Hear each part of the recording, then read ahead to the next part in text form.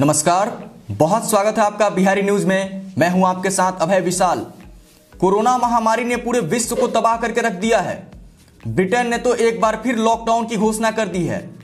वहीं नए साल में भारत में कोरोना से बचाव के लिए दो वैक्सीन को आपात इस्तेमाल की मंजूरी मिल गई है। भारत सरकार ने कोरोना के लिए दो वैक्सीन, भारत बायोटेक द्वारा निर्मित कोवैक्सीन और सीरम इंस्टीट्यूट के द्वारा बनाया गया। कोविशील्ड को आपात इस्तेमाल के लिए मंजूरी दी है। कई राज्यों में टीकाकरण का ड्राई रन भी शुरू हो गया है। उम्मीद की जा रही है कि जल्द ही लोगों के लिए वैक्सीन उपलब्ध हो जाएँगे।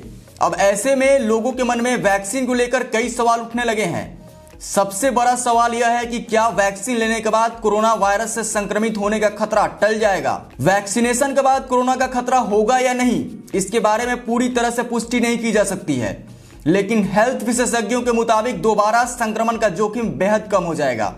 हालाँकि अगर किसी व्यक्ति को वैक्सीन लेने के बाद भी कोरोना हो जाता है तो इसका प्रभाव शरीर पर उतना गंभीर नहीं होगा। साथ ही उनकी माने तो कोविड 19 के कारण लोगों में निमोनिया का लक्षण नहीं होता है। यहाँ तक कि मौत का खतरा भी कम होगा। लोगों के मन में एक और सवाल चल रहा है कि वैक्सीन कितने दिनों में मिलना शुरू हो जाएगा? एक्सपर्ट्स की माने तो अगले पंद्रह दिनों के अंदर लोगों को वैक्सीन लगने शुरू हो जाएँगे। चरणबद्ध तरीके से अगले कुछ दिनों में टीका लगाने का काम किया जाएगा। माना जा रहा है कि अभी बच्चों और गर्भवती महिलाओं को शुरुआत में टीका नहीं लगाया जाएगा। बच्चों को इसलिए कोरोना का टीका नहीं लगाया जाएगा क्योंकि विशेषज्ञों का कहना है कि इन टीकों का ट्रायल 18 वर्ष से अधिक उम्र के लोगों पर हुआ था। चरणबद्ध तरीके से टीकाकरण के दौरान सबसे पहले प्राथमिकता नगर निगम के लोगों को दी जाएगी। इसके बाद दूसरे नंबर पर प्रशासनिक लोग, फिर डॉक्टर्स और मेडिकल सेवा से जुड़े लोगों को पहले टीका लगाया जाएगा। बता दें कि ये सभी लोग इस वैश्विक महामारी से लड़ने के लिए फ्रंट लाइन पर रहकर काम कर रहे हैं। इसके अलावा 50 साल से अधिक उम्र के लोगों और बीमार व्यक्तियों को भी पहले वैक्सीन दिया जाएगा। लोग यह भी सोच रहे हैं कि क्या वैक्सीन लगवाने के बाद भी मास्क लगाना होगा।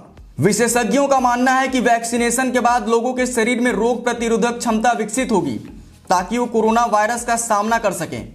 हालाँकि वैक्सीन लेने के बाद भी लोगों को सावधानी बरतनी होगी और मास्क भी लगाना होगा।